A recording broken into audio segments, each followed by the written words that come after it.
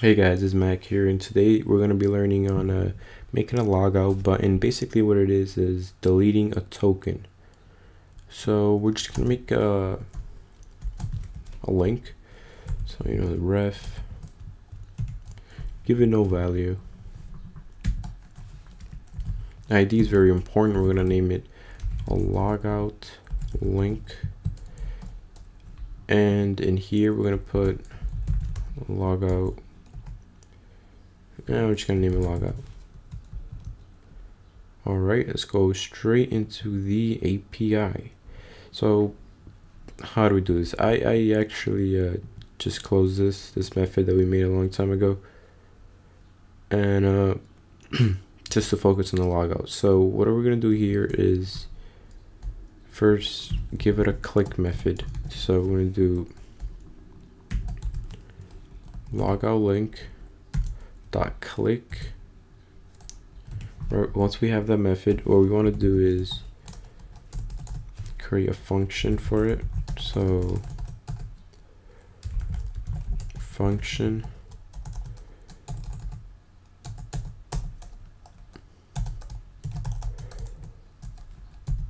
there we go. And here's all our code once we click. So how this works. This works so in here where we uh, get get access right here we get access authorization access create a token. And basically we're gonna get that token and give it the value of null. Well null is null equals zero basically. So we're gonna do var token equals sorry about that. Gapi dot authorization dot get token. After that to do if and else. Make sure that token does have a value. So token if token and here we're to make a variable called script. Give make it equal to uh, uh, an element that we're going to make. So document dot create create element and needs a tag name as you can see in the parameters and the tag name is going to be script. Ignore that. And in here to do document. Sorry about that that's not what I want to do yet. We're going to do script source.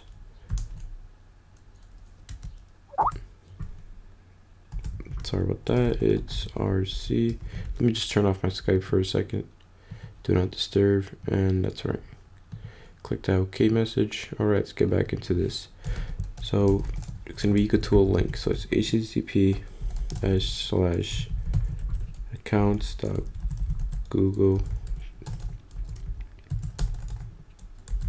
dot com. O slash authorization to revoke slash token. And we got to send google our token and our token is token plus access token perfect. And let's send it to our document. Document dot body dot append child. And I'm going to put script in here. We're also going to delete that child so in document. Oh my god I always spell it wrong. Document dot body dot remove child, I believe it's called. Yes, it is. And so I'm gonna put script in here. All right. After that, we have to give the value of our token null and the value of this right here our authorization give it give it null so the value of our authorization is going to be null also the way we do that is not that hard. We're just to do gAPI authorization set token null and guess what the other one is? It's pretty simple. Just handle authorization result null and let me see if I spelled it right. Uh, I believe I did.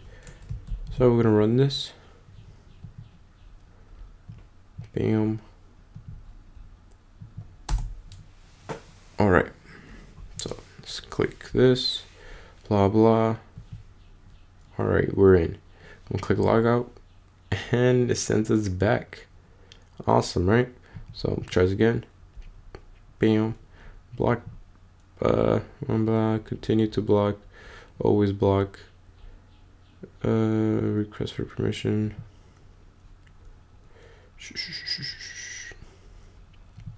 I don't know why it's doing this for me. Yeah allow just allow doesn't really matter. Allow blah blah. Yeah whatever. Doesn't matter. Great. It closed the API continue. And again if I press logout it sends me back. So cool we just made a logout uh, link over here. Very useful. You always you don't you don't always want to be connected to uh, the person's account.